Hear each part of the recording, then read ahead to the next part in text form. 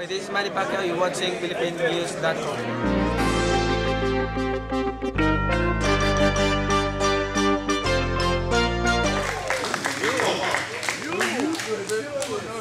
guys will notice that uh, once I take off my stuff, um, um, I have uh, wearing weights now, so try to get used to the thing. So you know me, I'm like the type of guy. I always make things up, trying to be more scientific and trying to learn different things. So I'm trying out weights this time, so I'm trying to weights and all that stuff.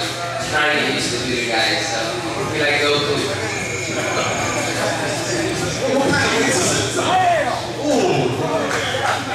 Don't call me 50 percent.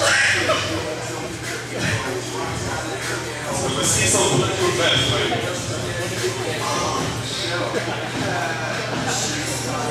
I can choose the whole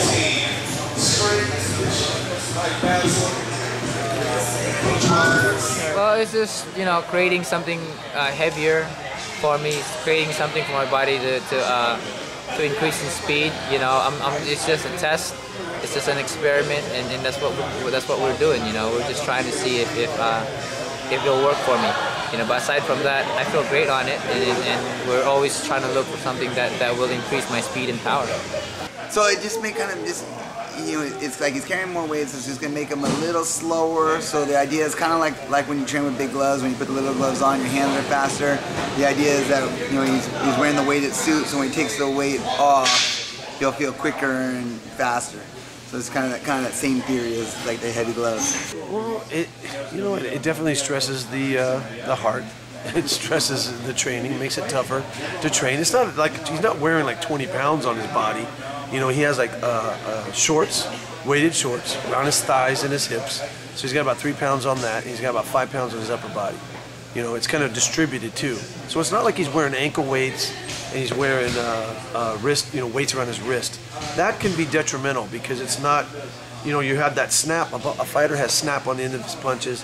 If he snaps and he has that weight jarring him, that can be, I believe, is detrimental to the joints, especially with the velocity and the snap that a fighter has, especially someone like Nonito. Uh, the weights as well on the ankles, sometimes that can, you know, one leg's always dominant over the other. You add ankle weights to that, you can, you know, you can create problems in the hips, the low back. Uh, it's not as, it's not that effective. But I do like the distributed weight around the upper body and the, and the thighs and the hips. It adds a little bit of weight on his body, right? He's not, uh, you know, he's not someone. This fight is different. He's not cutting. He's just training. You know, he's a he's a natural featherweight, so he's still not exactly where he can be. But you know, he's had years and years of fighting in the teen weights. He that, that man knows how to cut weight like nobody.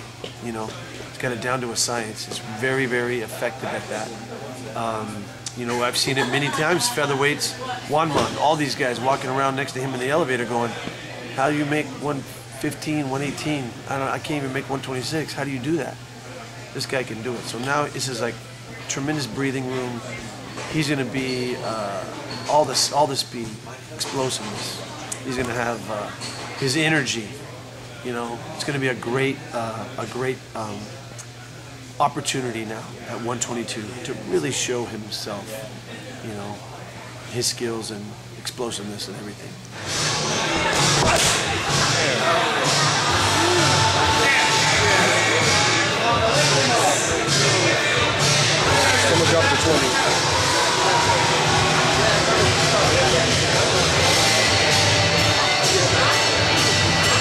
Your. All